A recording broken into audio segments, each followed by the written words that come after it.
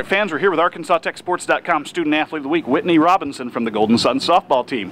Whitney, the team's gotten off to a pretty good start this year. You've passed last year's win total for the team. What's the season been like for you so far? Um, at first it's a little bumpy, but we've started to come together a lot better and playing good together.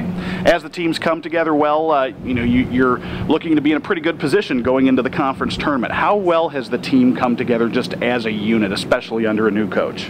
Um, well, at first it was, you know, rocky because everyone's getting used to the new program and everything, but we come together pretty well. Now, you played for Coach McSweeney before. Is that probably the biggest part of the reason you came here? Yes.